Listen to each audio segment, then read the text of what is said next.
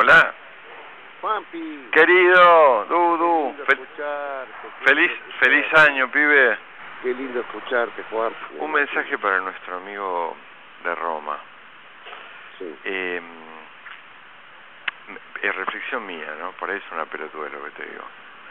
Eh, yo creo que es el único que puede decir algunas cosas que ordenen el gran frente opositor que necesitamos.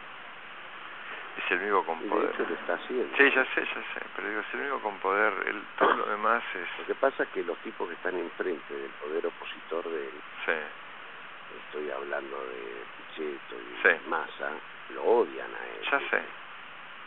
Sobre esos él no tiene influencia. Bueno, pero por ahí hasta nos Con el que puede tener influencia si le hacemos mandar un mensaje.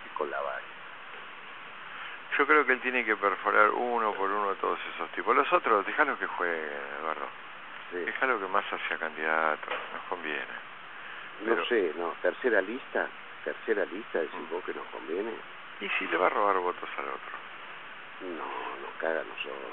Nosotros tenemos que tenerlo adentro. A ese es el único hijo de puta que tenemos que tener adentro. que Bueno, puede ser, puede ser. Porque mide 10, 12 puntos. El único que tiene votos. Mm, mm. Los otros no tienen votos. No, el otro es todo cartón pintado. Fabián dice que lo va a poner a Grabois. No, ni pedo. Eh, Grabois no quiere ser nada. No, te aviso. Grabois no quiere ser candidato. Él quiere que le pongan a Itay, sí, que le pongan un pobre, una persona que sea pobre, porque dice que en el Congreso no hay pobres.